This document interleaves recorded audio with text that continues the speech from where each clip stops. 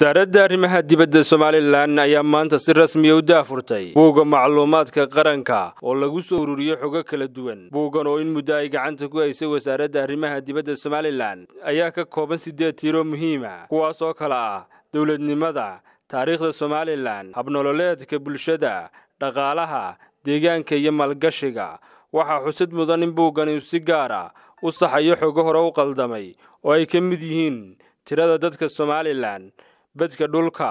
bedka badda iyo khariiradda jamhuuriyadda somalilan waxaa buuggan si rasmiya u daafuray madaxweyne ku-xigeenka somalilan mudane cabdiraxmaan ismaaciil istaylici waxaa sidoo kale buugga ka soo qayb galay daafurkiisa wasiirada wasaaradaha horumarinta maaliyadda horumarinta caafimaadka horumarinta biyaha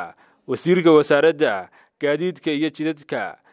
guddoomiyaha hay'adda barakacyaasha somalilan guddoomiyaha hay'adda dhowrista tayada guddoomiyaha hay'adda kahortagga masiibooyinka iyo keydka qaranka diblomaasiyiin iyo hay'ado kaloo caalamiya. Mas'uuliyiinta halkaa ka hadlayna waxaa hadalladoodii ka mid ahaa. Hadalkaygu waxaan ku soo koobi doonaa laba qodob oo muhiima kow ujeeddada iyo ahmiyadda aynu u samaynay xogta qaranka iyo tiirarka uu ka kooban yahay nuqulkan ama dokumentigani haddii aan aan in yaroo kooban ka yidhaahdo ujeeddada iyo ahmiyadda loo sameeyey ama loo diyaariyey xogta qaranka somalilan waxaynu la wada soconnaa dhammaan qaramada caalamku inay leeyihiin xogo daah furan oo ay ku baahiyaan baraha internetka oo ka warramaysa macluumaadka waddamadaas hadday noqoto tirada dadka cabirka dhulka cirka iyo iyo badaha dalalkaas macluumaadka kale ee bulsho dhaqaale oo looga jeedo inay adduunyadu kula mucaamisho dalalka xogtaa u gaarka ah. Innaguna waxay noqonaysaa xogtii somalilan ay lahayd ee aynu doonaynay adduunku inay nagula mucaamilaan. Ujeeddada kale waxa weeye in la helo xog sugan oo somalilan leedahay oo burisa xogaha beenta ah ee somalilan laga fidiyo ama saxaafadi ka fidiso ama cadowga somalilanba fidiyo ee ku saabsan tirada dadka somalilan cabirka dhulka badda iyo cirka somalilan iyo xogaha kale ee maababka iyo khariidadaha ee sida qaldan loo geliyey baraha bulshada iyo internetka. Meelaha ay xogahani tabinayso ama xoogga saaraysa waxaa ka mid ah tirada dadka ku dhaqan somalilan iyo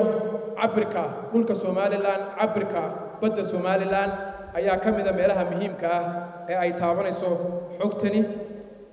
waxaynu ka warqabnaa inaanay jirin sensus ama tirokoob rasmi ah oo la sameeyey somalilan laga sameeyey. Laakiin xogtani waxay xiganaysaa oo aasaas u ah tirokoobyo la sameeyey ilaa ingiriiskii waxaa kaloo aasaas u ah xogtan dhimashada iyo dhalashada macluumaadka hay'adaha qaramada midoobay ay sameeyeen. Waxaa loogu talagalay inay adeegsadaan hay'adaha dowladda iyo dhammaan cid kasta oo somalilan la macaamisha gaar ahaan duwalka iyo hay'adaha caalamiga ah ee madaxa bannaan waxaa muhiim ah inaynu garanno haddii ay hay'adaha dowladda jamhuuriyadda somalilan oo qaar ka mid a ama badidoodu halkan fadhiyaan iyo wasaaradaha dowladda somalilan ay isticmaalaan xogtan inay ku khasban yihiin dadka kale ay nala macaamila ee hay'adaha iyo ajaanibka isugu jiraana inay xogtan ay si rasmiya u isticmaalaan. Waxaana ka codsanayaa dhammaan hay'adaha dowladda inay xil weyn iska saaraan sidii loo hirgelin lahaa loona isticmaali lahaa buuggaasi ay dowladaha caalamka iyo hay'adaha kale iyo ajaanibka ay nala macaamilaana hore loo qaaday wasaaradda arrimaha dibadda aad iyo aad baan ugu ammaanaynaa inay hawshan xil iska saarto oo ay soo saarto buuggan. Waxayna u aragnaa inay ka wasaarad ahaan iyo institutionska dalkuna sidaa wasiirku u sheegay inaannu isticmaalno dee waa ku khasbannahay aad iyo aad baan ugu mahadnaqayaa dhammaan cid kasta oo ka qayb qaadatay iyo cid kasta oo gacan ka geysatay. Waxaan markhaati ka ahay howlwadeennadii ka soo shaqeeyey inay si mug iyo miisaan leh uga soo shaqeeyeen guul baan u rajaynayaa qof kasta oo ka soo qayb qaatay. Waxaynu u baahan yahay in laba meelood labadaba ku fidinno buuggan. Ta koowaad inaynu ku fidinno somalilan dhexdeeda. Waxaynu had jeer u qaadannaa in dadkeenna reer somalilan khaasatan dhallinyaradu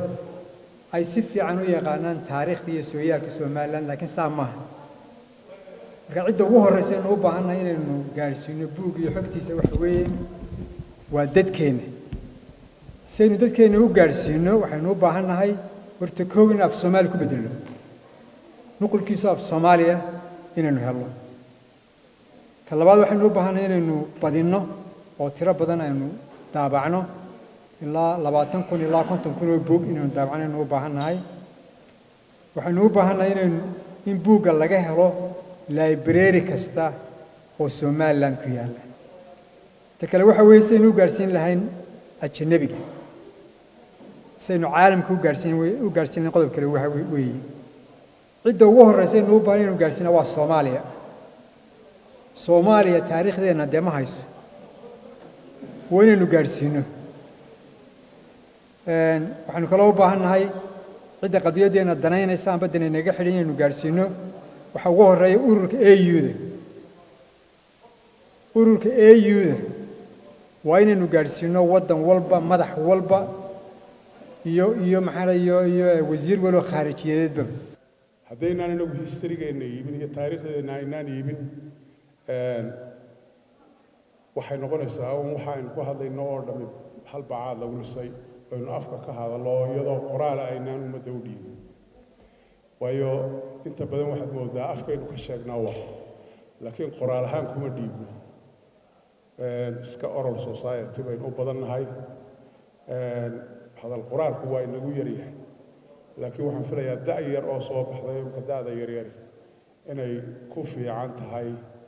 oy qoladayadii hore kaga wanaagsan tahay inay ku gudbiso fariimaha qoraal waa wax loo baahan yahay oo loo bogay. Waa run soomaaliyadaa shalay aynu muxuu ahaa aynu kala tagnay. Taariikhdeenna wax badan kama oga. Haddii cid ka ogihi jirtayna intii badan ama waa daaleen ama waa dhinteen. Inaynu iyaga laftooda fariinteenna gaadhsiino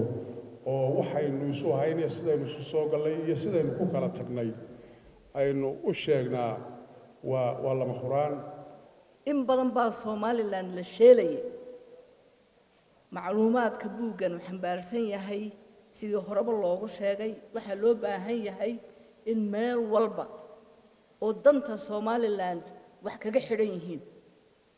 Ciddii somalilan dan ay kaga jirto ama ku tala jirta inay ama xidhiir la soo yeelato waa buug ay ka helayso macluumaad ku filan kalsoonina ku beeraya inuu yahay dalkanu dal jira. Wuxuu ka markhaati furayaa horumarka somalilan gaadhay soddonkaa sannadood iyo jiritaankeenii ka horreeyey istiqlaalkeenna ka horreeyey inaynaan ahayn dal yar oo dal kale oo weyn ka soo go'ay. Inaynaan ahayn xubin ka tirsan xabad weyn ama dal weyn oo kale ee inaynu nahay dal weyn oo isagu jira. Madaxweyne ku-xigeenka somalilan cabdiraxmaan cabdilaahi ismaaciil saylici oo xafladdaasi ka hadlayay ayaa hadalladiisii waxaa ka mid ahaa. Aad iyo aad baan runtii ugu hambalaynaya wasaaradda arrimaha dibadda inay xilkii maalintaa loo saaray in sanad ka hor inay ku soo dhammaystirto xogtii qaranka somalilan buuggaa yara kooban oo runtii si kooban oo cid kasta wakhti u heli karto runtii lagu soo koobay taa macnaheedu waxa weeyaan qaran walba wuxuu leeyahay abtirsiin buu leeyahay. Qaramada adduunyada jira qaran walba abtirsiin buu leeyahay. Waa abtirsiintii qaranka somalilan waxa weeyaan wuxuu sidaa xogtii qaranka somalilan sidaa la sheegay caalamka oo dhani waddan walba wuxuu leeyahay meeshuu ku dhaco tirada dadkiisa waxyaabaha loogu maaragtay loogu xisho dhulka dalxiiskiisa taariikhdiisa wax badan buu ka warramaya runtii aad iyo aad bay dhammaanteen maanta farxad weyn noogu tahay in buuggaasi muddo dheer aynu sugaynay. Maanta inoo soo baxo rabnaa in xogtii somalilan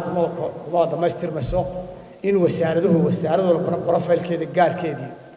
iyaduna halkaa iyadoo ka sii tixraacaysa hay'adaha dowladda iyo wasaaraduhuna inay halkaa xogtii gaarkii ay lahaayeen wasaarad walba ay samayso oo marka laga hadlo caafimaad marka laga hadlo waxbarasho marka laga hadlayo biyaha macdan laga hadlayo in xogtii iyagana sidaas u leeg. Ay wasaarad walba iyo hay'ad walba dirsaaq axmed aadan telefishinka caalamiga sm news